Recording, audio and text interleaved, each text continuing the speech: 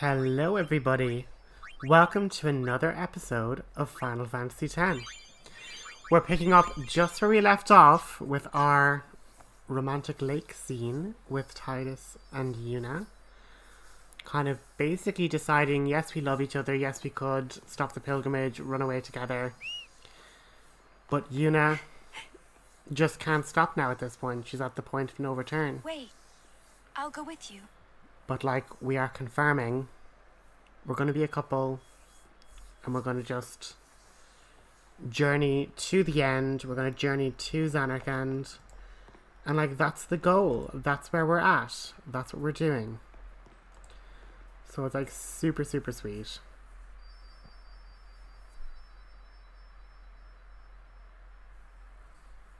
But um yeah, we've officially like defeated Maester Seymour twice we've discovered that like Yevon's run by zombies. It's not a very good vibe. Um, everyone hates us, and even still, we're gonna soldier on. Sir Auron? Wakka, Lulu? Kimahri, Rikku. Everyone, we leave at dawn. And... I'm sorry for putting you through all this. And, um... Enough. You need your rest. Yes. Good night.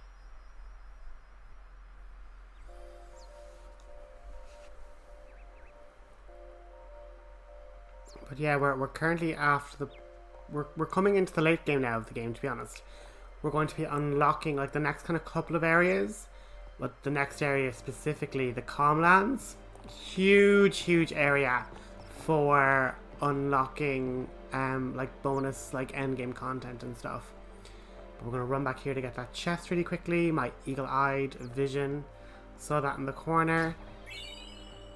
Another lucid ring. But yeah, we're going to have like monster capturing. And like just in case, I'm after looking back through my footage, I don't think I've shown you where one of the Jecht spheres was. But essentially if you run down here, I think I like collect, because I, I obviously collected it, but I didn't like, I can't find it within the footage. But it's basically here. It's along this little side road there. There's a Jecht sphere, you can collect it uh, like at this point and then journey on. But just don't don't miss that one. Um but yeah you just progress up here. And we're like nearing the kind of edge of you know the the world here now. So we're just moving to the calmlands and then from the calmland calmlands um straight through to mount Gagazet so we're just going to make a quick save. And as you can see there, 27 hours was like before we, when we first arrived to Bevelle, 30 hours is when we, we uh, decided to move on from our saves. So with three hours of grinding, we're pretty powerful. We're not going to come up to a lot of issues. Um, but this being like a unity run where we're trying to like level up everybody all together, there's never really a battle that's difficult. I mean, it's like rock, paper, scissors. Wakka fights flyers, Auron and Kimahri fight armored people. Lulu fights the Calmlands. Elementals. Long ago, the High Summoners fought sin here. The road ends here. Beyond, there are no towns, no villages, only endless plains. Many summoners stray from their path and lose their way here. Because there's so many side quests. they just got enraptured with chocobo racing and monster capturing, which we're going to see later on in this episode. But yeah, they lose their way with side quests.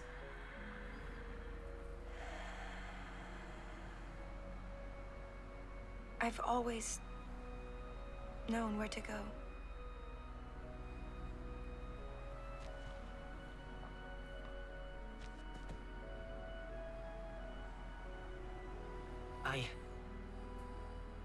Won't let you die.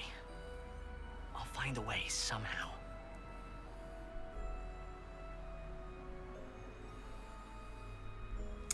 And like that's their commitment. They're gonna journey this road, but they're they're gonna find a different ending, hopefully. So you know, the best of luck to them.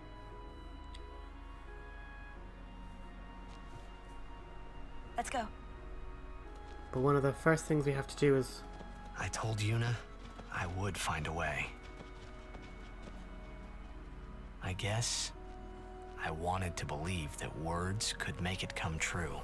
And just a really interesting little side note about this that obviously, like, Tidus has been narrating an awful lot of this experience, but there will come a point in the story where his narration will end. And if you think back to, like, all the way back in episode one, he had said, like, listen to my story, this may, this may be our last chance. And once we hit that particular scene, um, his narration will stop. Because you know, that's the story so far. So we're technically in one prolonged, hour filled um, flashback. And you know, poor Kimahri is going to have to be there. But like, remember when you like fought off Seymour Kimahri and then we like spent three hours just running up and down a bridge? Remember that? Remember that fun time? But yeah, enemies here. Nothing that we haven't done before. armored enemy, quick enemy, and elemental enemy. Use appropriate character with skills that are appropriate to defeat. But it's Maechen. Love this man. Perhaps you'd like to know a bit about these planes. Always. Mm-hmm. As you know, these plains were once a battlefield. A great battle between Bevelle and Zanarkand, a melee of Machina. That war left this place a barren, lifeless land. Then time passed. The summoners took note of this uninhabited land. Great battles could be fought here with no harm to the common folk. Perfect for a final battle with sin, as it were. Summoners wait here, ready to perform the final summoning. Ah, to know what they must feel. In any case, when sin is defeated here, the calm will visit Spira once more. That's why this place is now known as the Calm Lands. Exactly who dubbed it so is unknown. And that, as they say, is that. But yeah, this is basically where once summoners get the final summoning, they uh come here to fight it. And yeah, poor Kimahri is so far behind the poor Ronso man. He literally got like no levels. He's like towards the end of Rikku's grid. It's very sad. Roxas is still moving along Yuna's grid, like going back to like the start to get like null shock, null blaze, all that sort of stuff. The basic white magics. But yeah, going forward, um, you know, very very soon, um, like wild encounters, leveling, even like a lot of this stuff is going to become very meaning- meaningless with um the monster capturing, and so I'm after turning off encounters here purely because that's you know we've seen the two encounters, a lot of the time, um. Just was trying to catch up with that guy to see if he was like the Chocobo trainer. He wasn't. But Look at all those chickens. look at all them chocobos. And this big mean machine scares them away. But if you run, and like obviously with no encounters, it's a lot easier. But just make a beeline to that chocobo in the top uh, left side of the map there. And this character will let us train chocobos, which will let us eventually ride chocobos around the Calmlands, which we need for a lot of good bonus content.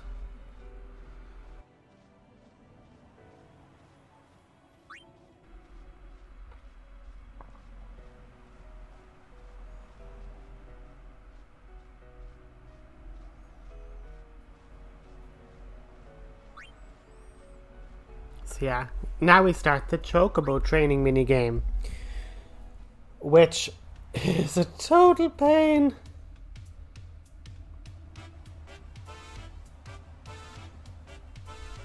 But all you have to do is try and ride in a straight line. And it's like adjust the chocobo as it runs. Because it will just literally zig and zag and you have to try and like finagle your way to make it go as straight as possible. Um, and obviously keep it to within the balloons as well. Oh, it like it's so messy. And you have to get it there within like 12 seconds, 8. And yeah, like just 0.2 of a second off. It's so, so frustrating.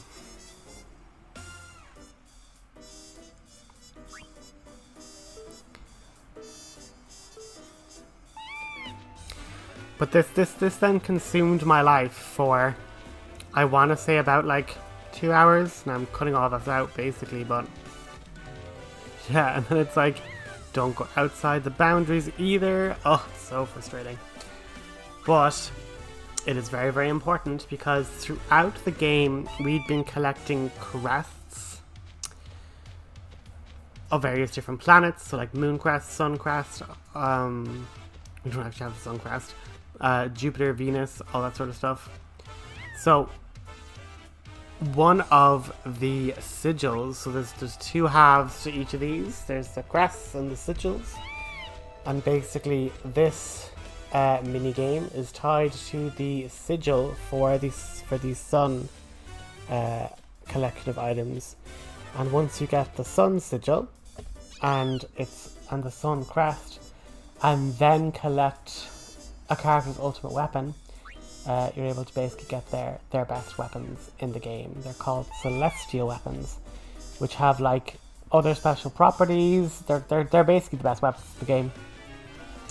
And to get the best weapon in the game for Tidus, we have to suffer through uh, these chocobo craziness. But you get nice items too. So like, beating this one, you end up getting, I think it's a turbo ether? No, an elixir. My mistake. Oh lord. And then basically you get different trainings. So that one was just the wobbly one, try and make him run in a straight line.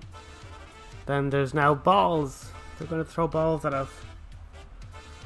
But this time the chocobo will just run straight, so it's like more control. So it will just run in a straight line. And then like left and right will uh, change its direction. And basically uh, avoid the balls. Yeah, avoid them is the so the way you're actually the way you're good at this mini game is if you actually don't hit them. And just don't take repeated balls to the face. Ugh, quite a challenge for me.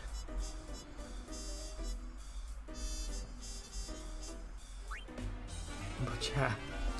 Just just just dodge them. Just just avoid the balls. The balls are not good.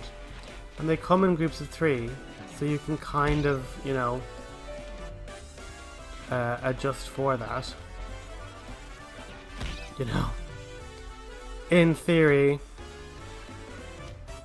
and I think I'm literally like one second. Yeah, what point one second off. Oh, it is so particular. So, so particular. And we're off to a great start again. But yeah, just just enjoy these mini games. They're they're they're not the worst, and they're not the most mind-numbing. And you at least get, like, nice things along the way. Ugh! There's nothing worse when you get, like, stun locked, and it just keeps firing them at you, and you just can't, like, get by. So annoying. But, um, going forward, um, like I've obviously been cutting battles before, um, but essentially there's like a massive, massive side quest where it becomes like Pokemon. You have to like uh, kill enemies with a certain weapon and they are captured, and then try and capture 10 of every single enemy in the entire game. So I do a large amount of that off camera. Um, but in general, I'll kind of give a general guideline as to these certain enemies spawn in this particular area of the map or what have you. But like realistically, it's just the case of travel to a different zone, put the you know high frequency of encounters on, then you should be able to just literally run this when you find a certain one, just run in that spot, and it'll cycle through a couple of random types of encounters, but like you will just get them all. Um, but I give some guidance uh, when I'm going capturing where to kind of find certain ones and where like not to forget to go and explore for particular ones. And this is just all bedlam. There's just there's balls, there's birds. It's just complete chaos. And we, we hate it. But I get through these markedly quicker than the final stage of this minigame gauntlet with chocobos which I can safely say took me about probably two hours. But um, let's get to that mini game first. But yeah, just just dodge, dodge and weave.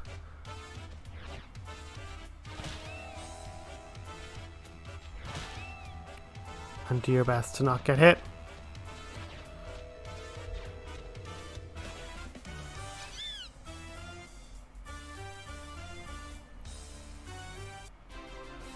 So yeah, someone's finally finished all their exercises. And now she wants to race us. So, the race is now where things get very, very interesting. So the catcher chocobo is where we're going to be getting our sun sigil. And basically they've just raced across the calmlands. There are balloons, they are good, we want the balloons. There are birds, they are bad. As you run, you can collect balloons. Collecting balloons shaves 3 seconds off your time. Being hit by a bird adds 3 seconds. Also being hit by a bird completely stops your momentum for 2 seconds. So really it's like minusing 5 seconds off your time every time you hit a bird. And to win the challenge first, you just need to beat the time of the trainer. So one, two, three, four, and we're going to get 5. So now we have 15 seconds. Oh, I didn't get fifth one. But we're currently at minus 12 seconds to our time. And essentially, to like gold star the challenge and to get the sigil, we need to collect enough balloons to bring our time under 0 seconds. Under 0 seconds, that's, that's right. You can't get enough to just reach zero. You have to beat zero. And unfortunately, with those three birds, I could have got this done in like. Oh. Anyway. I beat her time, which is 45 seconds. And this is our first instance of getting a level 3 key sphere, so we could have just sat uh, people down at their, um, you know, end of their grid and let somebody break out to go to another one. And you see the balloons are randomized. That's one other problem. The balloons are completely randomized, so there might come a time where we get a really good run, and essentially the best runs are when there's like four to five balloons just on that straight because there's no birds to, you know, distract. We also need them on the right hand side of the hill because if they're on the left hand side of the hill, the trainer can just get all those balloons. It's very stressful. but just keep dodging, keep weaving. And just getting hit there is just the worst because they spawn back so quickly.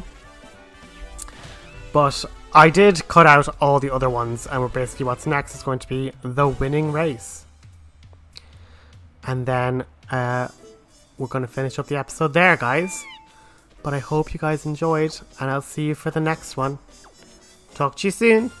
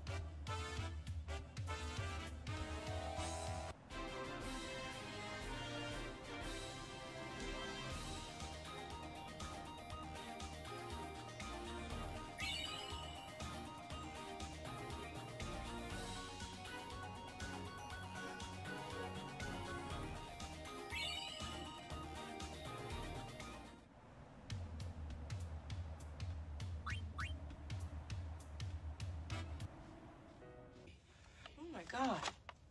What? I am extremely talented.